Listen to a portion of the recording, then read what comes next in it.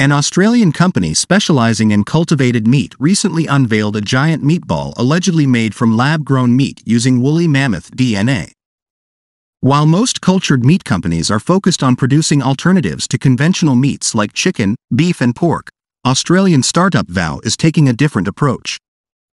It is focusing on mixing and matching cells from different unconventional animal species, even ones that have been extinct for thousands of years.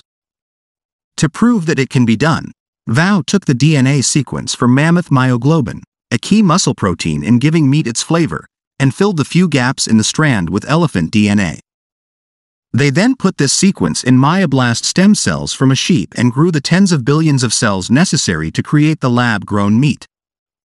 It was ridiculously easy and fast. We did this in a couple of weeks, Professor Ernst Wolvetang, at the Australian Institute for Bioengineering at the University of Queensland, told The Guardian newspaper.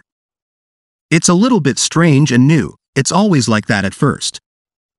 But from an environmental and ethical point of view, I personally think cultivated meat makes a lot of sense. Professor Wolvetang said that the initial idea was to produce dodo bird meat, but the DNA sequences required simply did not exist, so they settled for another very famous extinct animal. The goal was to raise awareness about cultivated meat as a future alternative to conventional meat, while also highlighting the idea of exotic meats. VOW has already been experimenting with dozens of species, including alpaca, buffalo, crocodile, kangaroo, and peacocks, mixing lab-grown meats to create unique tastes. The goal is to transition a few billion meat eaters away from eating conventional animal protein to eating things that can be produced in electrified systems, VOW CEO, George Peppou, said. And we believe the best way to do that is to invent meat.